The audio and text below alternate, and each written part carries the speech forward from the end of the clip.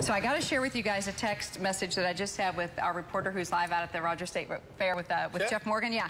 So I texted Jeff because he was mentioning that he saw yeah. goats, and yeah. I said, uh, "I will buy you a year's worth of cotton candy if you'll milk a goat." And he said, "Ha ha. Well, it's Mackenzie at 5:30." And I said, "Okay, can you do it at 6?" And he said, "She has the goats. I have the vendors." I said, "Yeah, don't milk a vendor. They don't like that. That's going to get them a punch in the mouth." Yeah, so, they're used to you know. saying, "Who wants to go fast?" There's no time yeah. for milking in there. no. But, but, you know, it is, uh, I believe, Mackenzie's birthday, isn't it? So, you it know, is. right.